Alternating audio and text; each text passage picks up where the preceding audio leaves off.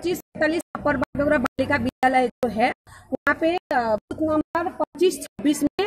अब हमें एक खबर मिला तो हम दौड़ के आके देखे तो वहाँ पे कमल का जो चिन्ह है, वहाँ पे ब्लैक टेक्स्ट चिपकाया गया है। वो कितनी ये कितनी पहले से हो रहा है मुझे नहीं मालूम, लेकिन अभी मुझे खबर मिला, मैं दौड़ के आके देखी, उसके बाद देखा कि वहाँ पे ब्लैक टेप चिपकाया हुआ है।